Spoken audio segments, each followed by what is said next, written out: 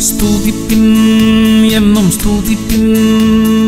രാജാധിരാജനെ സ്തുതിപ്പിൻ. ദൂതരാൽ വന്നിതനെ സ്തുതിപ്പിൻ. സൃഷ്ടികർത്താവിനെ സ്തുതിപ്പിൻ.